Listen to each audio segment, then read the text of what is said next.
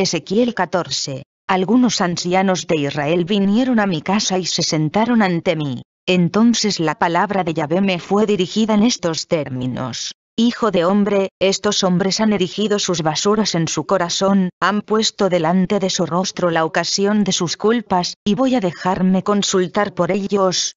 Habla, pues, y diles. Así dice el Señor Yahvé a todo aquel de la casa de Israel que rija sus basuras en su corazón o que ponga delante de su rostro la ocasión de sus culpas, y luego se presente al profeta, yo mismo, Yahvé, le responderé, a causa de la multitud de sus basuras, a fin de prender a la casa de Israel en su corazón, a aquellos que se han alejado de mí a causa de todas sus basuras. Por eso, di a la casa de Israel. Así dice el Señor Yahvé, Convertíos, apartaos de vuestras basuras, de todas vuestras abominaciones apartad vuestro rostro. Porque a todo hombre de la casa de Israel, o de los forasteros residentes en Israel, que se aleje de mí para erigir sus basuras en su corazón, que ponga delante de su rostro la ocasión de sus culpas, y se presente al profeta para consultarme, yo mismo, Yahvé, le responderé volveré mi rostro contra ese hombre, haré de él ejemplo y proverbio, le extirparé de en medio de mi pueblo, y sabréis que yo soy Yahvé.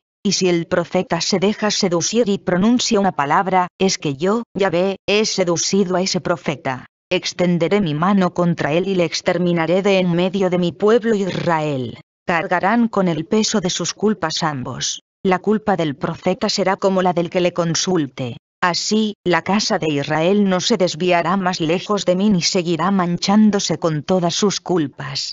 Ellos serán mi pueblo y yo seré su Dios, oráculo del Señor Yahvé. La palabra de Yahvé me fue dirigida en estos términos. Hijo de hombre, si un país peca contra mí cometiendo infidelidad, y yo extiendo mi mano contra él, destruyo su provisión de pan y envío contra él el hambre, para extirpar de allí hombres y bestias, y en ese país se hallan estos tres hombres, Noé, Daniel y Job, ellos salvarán su vida por su justicia, oráculo del Señor Yahvé. Si yo suelto las bestias feroces contra ese país para privarle de sus hijos y convertirle en una desolación por donde nadie pase a causa de las bestias, y en ese país se hallan esos tres hombres, por mi vida, oráculo del Señor Yahvé, que ni hijos ni hijas podrán salvar, solo se salvarán a sí mismos, pero el país quedará convertido en desolación. O bien, si yo hago venir contra ese país la espada, si digo, pase la espada por este país, y extirpo de él hombres y bestias, y esos tres hombres se hallan en ese país.